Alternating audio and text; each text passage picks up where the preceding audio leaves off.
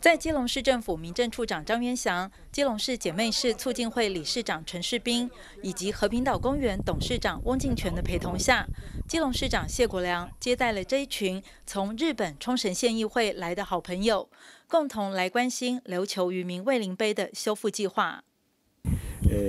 基隆，呃，大家那么呃照顾，我们要利用这个机会，特别感谢基隆市。まあ、あの今のこの現状についてもですねあの早速私たちは持ち帰ってですね、えー、知事をはじめ、えー、県の三役をはじめ皆さんにお伝えしてですね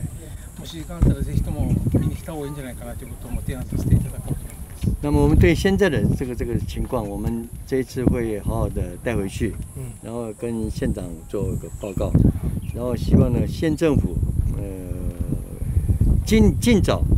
尽早赶快去恢复。非常的开心看到。啊，日本冲绳县的赤岭议长阿卡米内桑，他到了我们基隆来参访。那大家都知道，冲绳跟我们基隆长久以来都有非常深厚的友谊，而且非常好几百年前，我们的文化、我们的愉悦就不断的有很多深度的交流。那今天他们也来到了很具指标性的和平岛公园，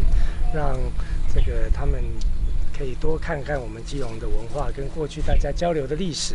那我们这个过去跟宫古岛就有很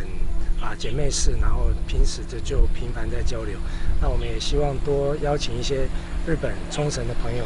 啊来访基隆，让他们多了解、多看看。在检视纪念碑损坏状况后，冲绳县议会希望能尽速重建雕像，完成修复。据了解，原创的日本雕塑家正在努力制作，相信很快就能恢复原状。记者黄日升、陈淑平基隆报道。